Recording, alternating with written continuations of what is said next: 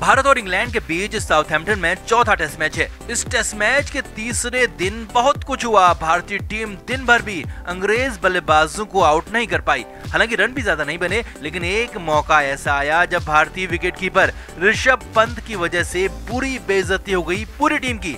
असल में यह सब कुछ हुआ सड़सठवें ओवर की पहली बॉल पर, जब रविचंद्रन और अश्विन बॉलिंग कर रहे थे और स्ट्राइक पर थे अंग्रेज़ बल्लेबाज जोस बटलर। अश्विन की बॉल पर बटलर चूके और ऋषभ पंत ने बॉल को पकड़ लिया। विकेट कीपर ऋषभ पंत ने ज़बरदस्त अपील की, साथ ही स्लिप में खड़े रहाणे भी अपील करने लगे। लेकिन गेंदबाज रविचंद्रन अश्विन ने कोई अपील नहीं की। मगर ऋषभ पंत पूरी तरह से कॉन्फिडेंट थे कि बॉल ने बल्ले का बाहरी किनारा लिया है और बटलर कैच आउट है। हालाँकि विराट कोहली भी श्योर नहीं थे, लेकिन ऋषभ पंत की जिद देखकर विराट ने अधूरे मन से रिव्यू ले लिया। अब तीसरे अंपायर ने देखा तो बॉल ने बल्ले का बाहरी किनारा नहीं लिया था, यानी बल्लेबाज नॉट आउट था, और अब भारत का एक रिव्यू लॉस्ट हो गया।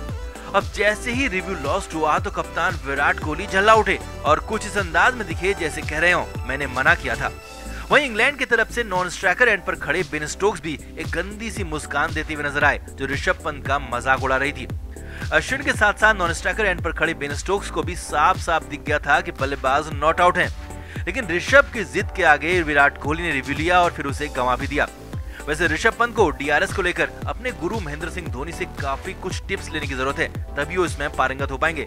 और उम्मीद है कि जल्द ही ऋषभ पंत डीआरएस को लेकर अच्छे फैसले ले पाएँगे। Flame media report.